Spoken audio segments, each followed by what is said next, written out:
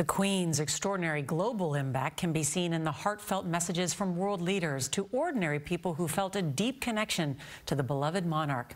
CBS's Holly Williams is at Windsor Castle tonight, just outside London, where crowds have gathered to express their grief.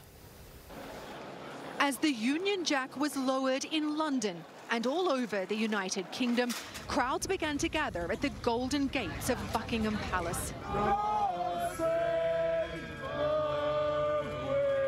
God Save the Queen, they sang, for a much loved monarch. We were outside Windsor Castle tonight, home to kings and queens for over 900 years. she was everything to us, and it was a massive part of our upbringing. It's a very sad moment, very sad moment.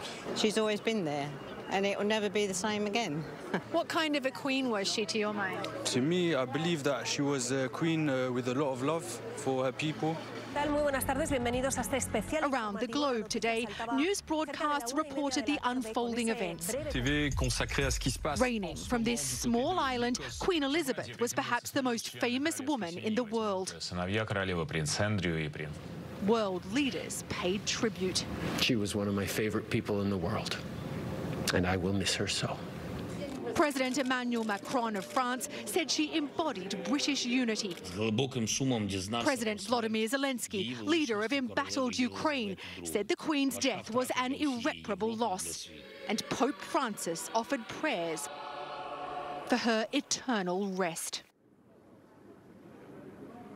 This truly is the end of an era. For over 70 years, the United Kingdom's national anthem has been God Save the Queen. Now it will become God Save the King.